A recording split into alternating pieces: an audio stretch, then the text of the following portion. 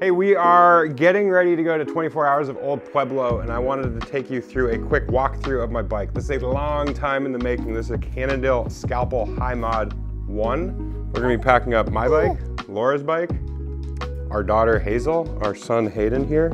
Uh, we're gonna be playing around in the desert. So quick walkthrough. Again, Hi-Mod 1, so super slick, super light frame, 100 mil of travel front and rear, courtesy of a lefty Ocho up front, Fox float in the back. Our dear friends at SRAM have really helped me out here in their SRAM MTB department. This is an XX1 drivetrain. I've got a 34 tooth up front paired with a 1050 in the rear.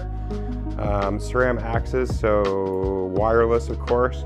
Also, in the wireless department is my dropper, courtesy of a uh, RockShox Reverb, very cool technology there.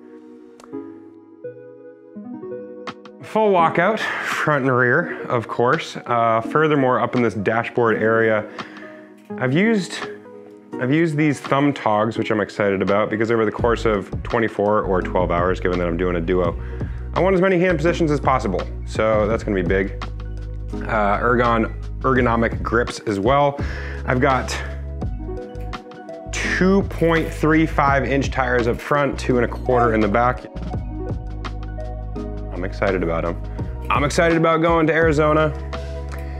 Hayden's excited even though he doesn't know it yet. Hmm. We're gonna have a blast playing around in the desert. Hmm. Thanks for watching.